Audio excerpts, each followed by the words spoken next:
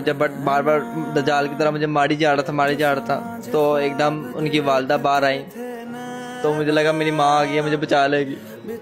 लेकिन मुझे बड़ी उम्मीद थी उनसे कि वो बचा लेंगे लेकिन उन्होंने कहा कि इस, इसका गला घुट के मार दो। हैं? ये रजब भट्ट की वालदा ने कहा? मैंने कहा मेरे दिल का मसला कहते इसके दिल दिल कुट दो। मैंने अपने जान बचाने के लिए कहा कि मेरे दिल का मसला उन्होंने कहा इसका दिल कुट दो। और कहा इसका गला दबा दो मार दो। मतलब मुझे लगा कि मेरी माँ आ गई है बचा लेगी लेकिन उसने कहा कि मार दो मुझे तो वालदा बहुत अच्छी हैं सबको वो बड़े मोहब्बत करती हैं तो वो मैं तब शौक हो गया था। यकीन करे मुझे था कि मुझे मुझे था कि वो मुझे बचा लेंगे लेकिन वो तो मुझे और मारने के लिए कह रही थी कि और मार दो उसे। आप ये कुरान पाक उठा के ये बात कर रहे हो? मैं मैं अगर गलत हूँ तो मैं भी मर जाऊँ।